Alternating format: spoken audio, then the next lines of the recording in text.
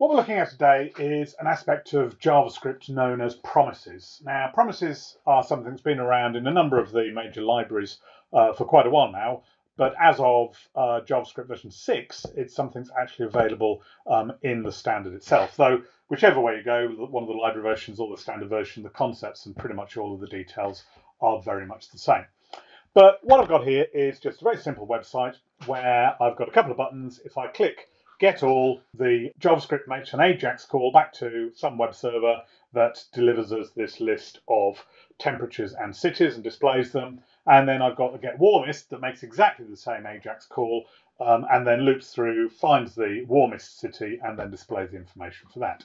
And if we take a look at the JavaScript, uh, we can see here we've got this weather manager class, and there we've got the get all, and you can see I'm using uh, jQuery here for my Ajax call, but other libraries work in very, very similar ways. And what I'm doing here is the more old-fashioned way of doing it, which is I make the call and I pass in as parameters to the Ajax call callbacks for success when we do get the data back or error if for some reason we don't get the data back. And so we can see on the error, I'm just um, setting an error message. And on the success, I've got this display all method that just loops through and forms up the appropriate HTML that we're going to display.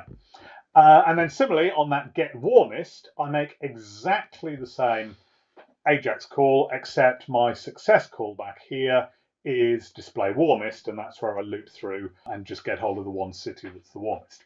And that is done, as I say, without using promises. So if I were doing this using promises, which are available in jQuery, I would change that. So I would say on the end of here, dot then, because what's happening is that Ajax call actually returns one of these promises and then is a method of the promise. And then I take uh, my two callbacks, so the success callback and the failure callback. Um, and then having passed them into the promise, I can get rid of them from original call. Uh, we will save that and then if we go and refresh the page here um, and do get all, it will behave in exactly the same way.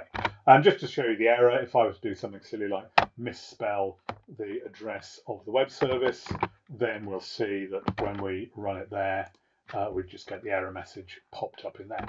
So that's the sort of way that you'll initially see promises being used. And in that situation, it's very hard to see much benefit at all. We can see it there with the passing the functions, the callbacks directly into the Ajax call and there with the promise. However, if we start analyzing this code, it immediately shows some other problems as well. And the chief problem is um, it's monolithic. There's no separation of concerns. So in the same bit of JavaScript code, we're both calling the web service and we're forming up our HTML to display.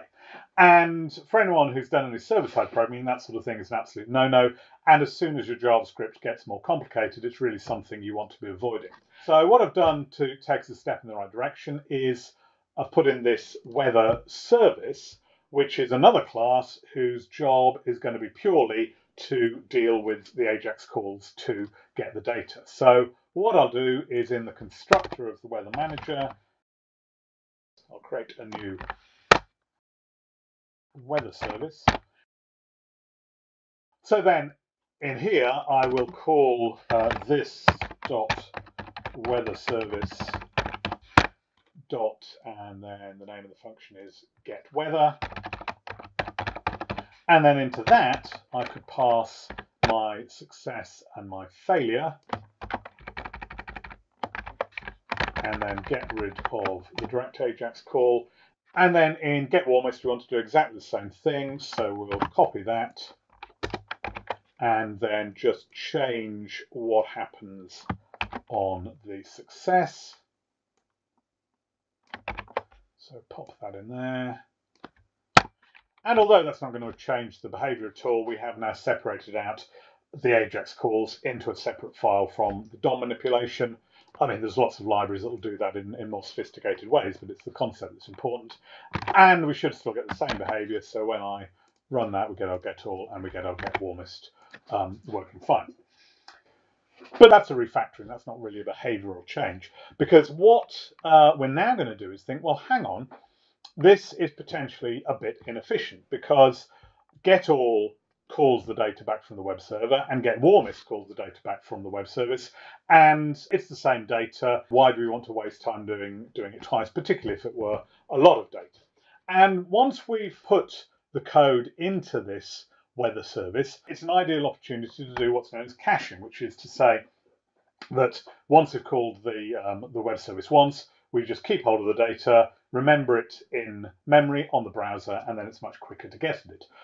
Um, but there is a problem with doing that sort of thing um, because of the way the data arrives using callbacks. And so if I wanted to just change this uh, get weather so that it either gives you back the cache data or if there isn't any cache data there, goes and gets it, um, you hit some interesting structural problems because essentially there are really three circumstances in which this get weather could be called when we're doing caching. It could either be called for the very first time, in which case obviously it's got to make the call and go to the server. But if it were the second time it were being called, it can still be in two circumstances because we could call get weather when the date has already been fetched and is cached, and in that case we'd simply return it. But we could also be calling get weather after the original Ajax call has been made, but before the data has been returned. And so we've got to write some software that deals with those three circumstances the first call, the intermediate call, and the late call. And the really nice thing is that's exactly what promises do, because the important thing about a promise is a promise is valid even after it's been fulfilled. So if we get one of these promises for this request to the web API, then it doesn't matter whether we call it before the data's arrived or after the data arrived or whenever, it will still behave in exactly the same way. So the trick we do here is not to cache the data, it's to cache the promise itself. So let me show you what I'm going to do there. Let's just create a simple little cache. So we'll just call this underscore cache um, and then set it to null. And then in here, we're going to, let's spell cache correctly. Um, and then in here, we're going to say if this dot cache equals null. So if it's the very first time that this is being called, then we're going to say this dot cache equals, and then the Ajax call, or the return of the Ajax call, which is to say the promise itself. So we're not, as I say, caching the data, we are caching the promise. And then we simply return that promise. So if this is the very first call, then the cache will be empty. We'll make the Ajax call, put the promise into the cache and return it. But every time subsequently, we will simply be um, returning the previously cached promise for that Ajax call. Which means, as you can see, we no longer have the success or failure passed in because what we now have to do is set those up back here. So now we say with our get service get weather, we then say dot then, remember then is a method of promise and that's what's coming back. And so we pass um, that in there. And similarly here, we get back the promise, call then on the promise. And so with really very little coding, we've actually solved that caching problem. Because if we now save all that and refresh ourselves over here, we can see that's still working and that's still working.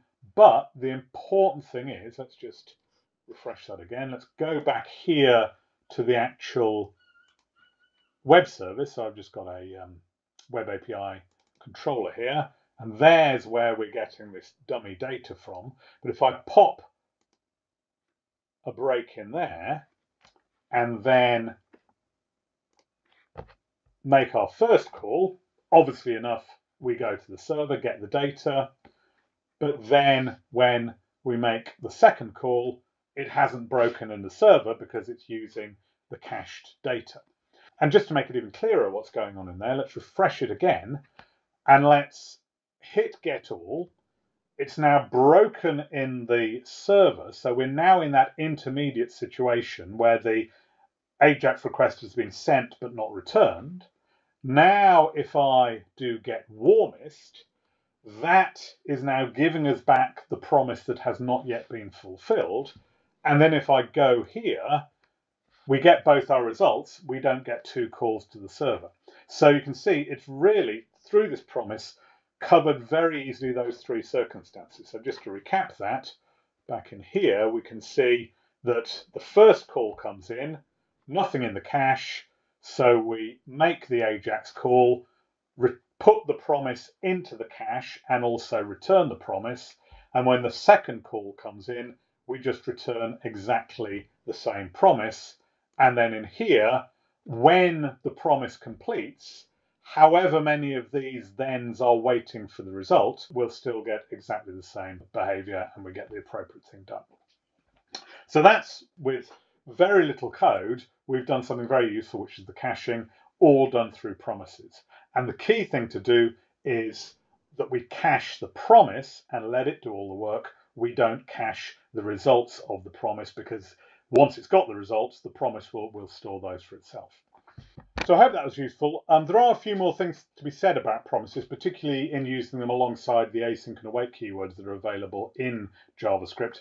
But even as far as we've seen them, I think they're very useful for things like caching and other related areas like that. If you've got any questions, do pop them in the comments section below and make sure you have a look at that um, second video. But bye for now.